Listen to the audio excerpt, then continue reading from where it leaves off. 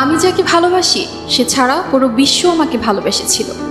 না দর্শক, এটি আমি নই, বলেছিলেন লাস্যময়ী এভারগ্রিন প্রিন্সেস ডায়না। কিন্তু কেন করেছিলেন তিনি এই উক্তিটি? তার এই উক্তি থেকেই বোঝা যায়, ভাঙা মন সামলে উঠতে তার বেশ কষ্টই হচ্ছিল। তাই তো তার মৃত্যুর এত বছর পরেও এই উক্তি এখনও এত জনপ্রিয়। এখনও তিনি দখল করে আছেন অগণিত ভক্তের হৃদয়ে তার অস্তিত্ব। ডায়না হার ট্রু স্টোরি নামে একটি বই প্রকাশিত হয় উনিশশো বিরানব্বই সালের সাত জুন। বিশ্ববাসী হতভাগ হয়ে যায় তার বইটি পড়ে।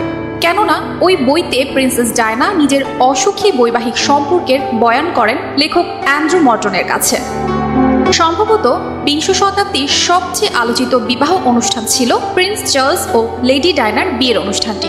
বিবাহের মাধ্যমে প্রিন্স ও প্রিন্সেস অব ওয়েলস পদে ভূষিত হন এই দম্পতি।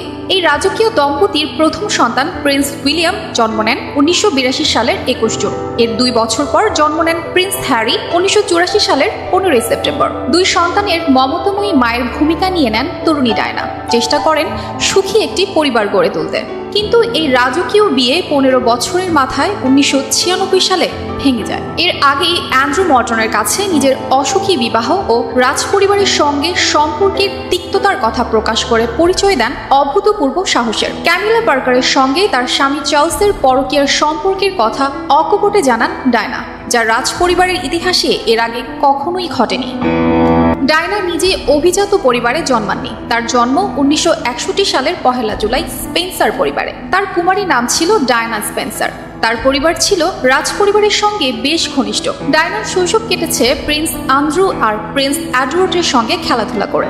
ডায়নার পিতামহী ছিলেন রানী এলিজাবেথের ঘনিষ্ঠ বান্ধবী। সেই সময় থেকেই হয়তো তাকে রাজপরিবারের বধূ করার পরিকল্পনা ছিল রানী সম্ভবত সে কারণেই উনিশশো পঁচাত্তর সালের স্পেন্সার পরিবারকে আর্ল অব স্পেন্সার পদবিতে ভূষিত করা হয় এবং উনিশশো একাশি সালে ডায়নাকে পরিবারের বধূ হিসেবে নেওয়া হয় বরণ করে।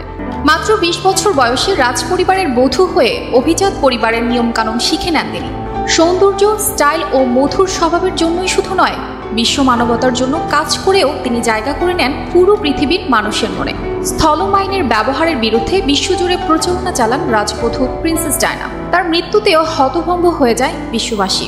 ডায়না মারা যান উনিশশো সাতানব্বই সালের ত্রিশ অগস্ট প্যারিসে এক গাড়ি দুর্ঘটনায়। পাপারাজিদের এড়াতে একটি টিউবে ঢুকে যায় গাড়িটি। ডায়নার সঙ্গে ছিলেন তার তৎকালীন প্রেমিক মিশরীয় ব্যবসায়ী ডোডি আল ফায়াদ দুর্ঘটনার কয়েক ঘণ্টা পরে হাসপাতালে শেষ নিঃশ্বাস ত্যাগ করেন সাবেক প্রিন্স অব ওয়েলস। গাড়ির চালক ও ডোডি ঘটনাস্থলেই মারা যান। তাদের দেহরক্ষী গুরুতর আহত হন। ময়নাতদন্তে গাড়ি চালকের পেটে শনাক্ত করা হয় অস্বাভাবিক মাত্রার অ্যালকোহলের উপস্থিতি।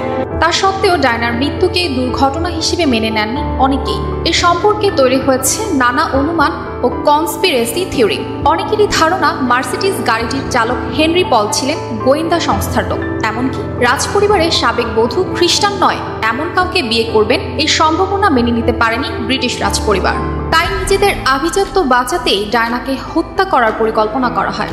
এমনকি অনেকে এমনও মনে করেন, প্রিন্স ফিলিপের সঙ্গে এই ষড়যন্ত্রে অংশ নিয়েছিলেন ডায়নার আপন বোন লেডিসারা। তার মৃত্যুর পর কেটে গেছে প্রায় দুই দশক। কিন্তু এই রহস্য উন্মোচিত হয়নি আজও।